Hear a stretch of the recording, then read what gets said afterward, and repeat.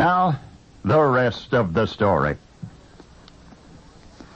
In the annals of Western lore, no real-life cattleman or cowboy was ever more celebrated than Henry Hooker. Henry C. Hooker. His was the big uh, cattle fortune. Many of the legends about cattle drives began with Henry Hooker. Hooker's Sierra Bonita Ranch in the San Simon Valley of Arizona used to be a desert oasis for the wealthy. Famous people came there to ride, to breathe the fresh air, to share for a while the cattleman's way of life. Separating the myth from the man, in a case like Cattle King Henry Hooker, is sometimes a difficult task. But the story you're about to hear is true, all right. This is about Hooker's first trail drive from Hangtown, California, across the Sierra Mountains to Carson City, Nevada. And you're going to hear the rest of the story. As a young man in the 1860s, many years away from his celebrity as a cattle baron, Henry Hooker ran a hardware store in Hangtown, California, and one night Henry's store burned down. He rescued $1,000 cash, nothing more. Now, it just happened that at the time the Comstock lode was booming. Better than 60 miles in a mountain range away was the thriving infant mining capital of Nevada, Carson City. Like many boom towns, Carson City had to import its food. Folks there had gold and silver, but they couldn't eat gold or silver. They needed food. So here's Henry Hooker back in Hangtown. His business is gone. He's sitting on 1,000 idle dollars. He's living smack dab in the middle of a livestock belt. Now, I know maybe you have anticipated Henry's next move. He took all of the money he had and he bought all of the livestock he could get his hands on and he announced that he was going to drive this new herd across the high Sierras to Carson City. Everybody warned him against it. Some called him crazy.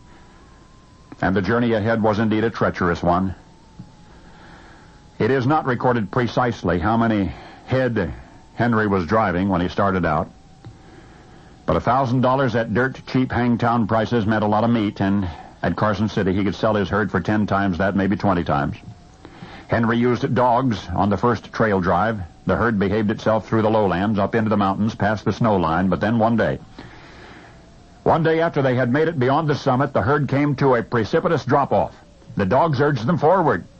Henry spun round to see what was happening, and a thousand dollars worth of meat almost spilled over the edge into the gorge. But it did not. It did not. Henry Hooker and his herd eventually made it to Carson City. And there he sold the lot at $5 a head, which meant a handsome profit for him. And Henry took that money and he bought his first Texas and New Mexico cattle. He started his Arizona ranch. And now you know the, well, no, you don't. No, you don't. You remember that steep canyon Henry's herd encountered in the Sierra Mountains. You know why they didn't fall in? Because they flew over it.